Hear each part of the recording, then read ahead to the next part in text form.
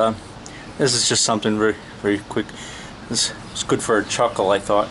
Um, I just got a, a question from Heavy Diesel about my yellow torch. And it confused me for a second because here, yellow torches are, this would be my MAPP gas, my yellow, that's my yellow torch. I forgot that in England it would be called, this would be a torch. Well, it's just, this is our, we call this our flashlight here. This, um, it's made by Streamlight. It's called a knucklehead. The firemen over here use the orange ones, and they usually clipped like this on the uh, uh, on the fireman's uniform. Um, I've I had several of those. They're orange, but they're the head's fixed on it. And I looked in the catalog, and this one I can adjust the head on it. Now this one came with a magnet on it. Let's see. This was the magnet that it had on the back.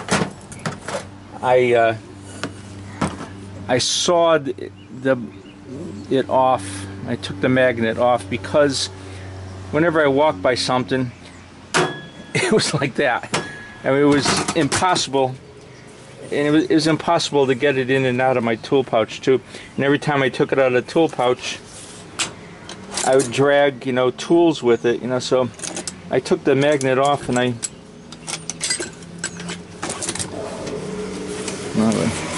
I took the magnet off. Oh, come on. And now what I use it for is um, hanging hanging my gauge on when I'm working on a unit. Uh, this magnet is very strong magnet. It's, it's like way too strong for that. But it was uh, you can get them in Grainger, but uh, nice thing about it is whenever I want to put it in the tool pouch, I just have to toss it, and it'll like stick to something. It's usually not hard to find, but that's my yellow torch. it's a flashlight we call it, but it's called a knucklehead, and it's by um, Streamlight, and it's rechargeable. I have the recharge up there. So I think it's a Nikon. Uh, lithium battery. I think it, it lasts for a couple hours uh, straight, and it's like it cost me over a hundred and something dollars. Um, I don't know what that is in pounds, but um, I definitely get another one of it. Yeah. This one I've had, I don't know, maybe a, a year and a half now, and it's still going, still going pretty strong. It's the best light I ever had. I had a lot of lights over the years, and this is the best one. This is this is the other one I was uh, talking about the other day, and it, has got the rechargeable battery.